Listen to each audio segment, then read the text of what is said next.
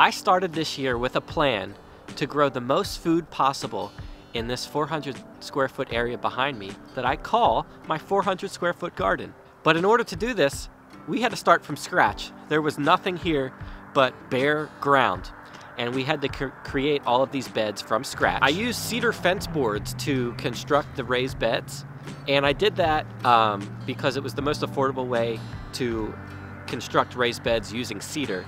Um, these cedar fence boards cost only $3.98 for, for a six foot board. So I was able to build all of these beds. I have four beds behind me. One, two, three, four. They are each three feet wide by 18 feet long. And each bed cost a total of $27.86. So that's pretty cheap uh, considering. And so the total cost for all four of these beds came to $111.44. Not too bad for something that you only likely have to buy one time.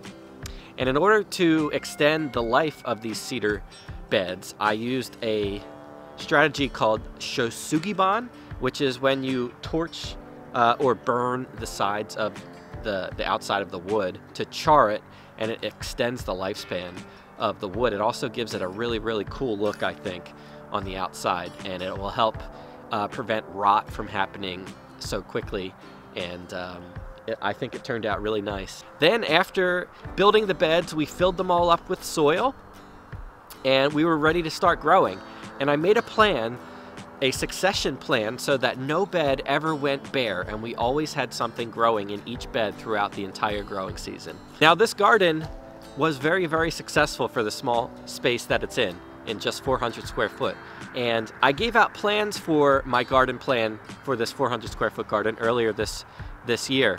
And I am now looking forward to next year. And my family and I just got back from the grocery store and we spent about $80 for like the tiniest minuscule cart full of barely any groceries and I just find that it's more pertinent now more than ever that we start growing more food in our backyard to save money. And we're also going to be getting better food, better high quality food from right in your backyard. So while this 2023 version of our 400 square foot garden was very successful, I have plans to make it even more efficient and more successful for next year. So I am releasing new crop plans for 2024 for our 400 square foot garden that I think is going to make it a lot more simpler for the new gardener to follow. I think that my plans for this year were a bit too complicated even for me um, to, to follow along with at times. So my plans for next year are a lot more simpler, uh, hopefully be more streamlined and easy to follow along and won't be so stressful doing um, flipping beds and doing all those kinds of things. It should be a lot more simpler and easier to maintain and stay on top of. So not just will I be giving new plans for this version of the 400 square foot garden, I also am taking another 20 by 20 space in my garden. I'm going to be experimenting with a different 400 square foot garden um, using just in-ground beds. So I'm making it even simpler than you don't have to construct raised beds to grow food.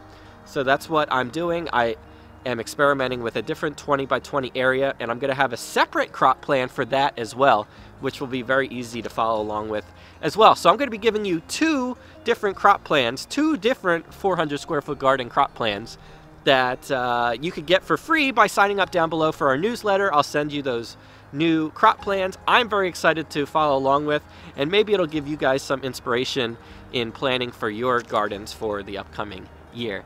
I know I'm really excited to get things growing again in our gardens, and I'm sure if you're watching these videos, you're probably excited for next year too. So that's all I wanted to share.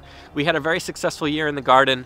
I'm hoping next year will be even more successful and we'll be able to grow even more food in, in a very, very tiny area. And if you're like me and just have a small area in your backyard, but you still have that yearning to grow a ton of food, follow along on our channel because we're going to continue this series of our 400 square foot garden and it's going to be even bigger and better next year.